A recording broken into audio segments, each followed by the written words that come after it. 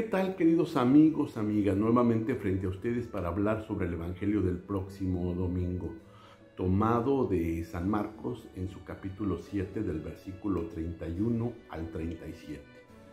Y allí el evangelista nos va a presentar un elemento importantísimo en la vida de todo seguidor de Jesucristo, la apertura de corazón a toda la humanidad, a todo hombre, a toda mujer, considerando a todos como nuestros prójimos, como nuestros hermanos. Y lo hace de una manera muy gráfica.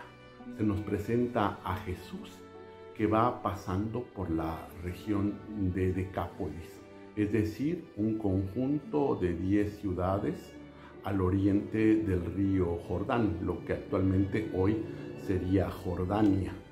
Y allí un grupo de personas se acerca con Jesús para traerle un sordo mudo. Jesús se acerca a él, lo toca con sus manos, en ellas ha puesto saliva para tocar sus oídos y para tocar sus labios. Y entonces dice Efata, que quiere decir ábrete. Inmediatamente aquel hombre empieza a escuchar y empieza a hablar.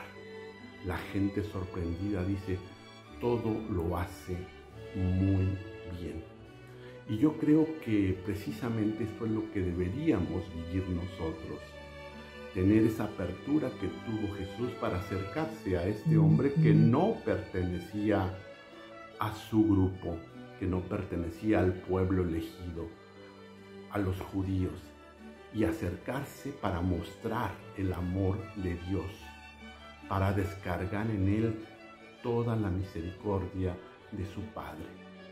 En un mundo lleno de conflictos, lleno de odios, de cerrazón, de descartes, el Señor nos invita a abrir toda nuestra vida para construir una sociedad más justa, más fraterna, donde podamos vivir como verdaderos hermanos, construir un clima donde nadie sea excluido y podamos realizar ese proyecto del reino de Dios, del reino del amor.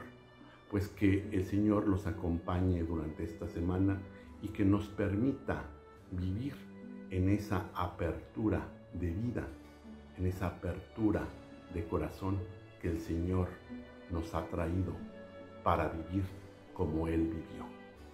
Que estén muy bien y por aquí nos seguimos viendo. Hasta luego.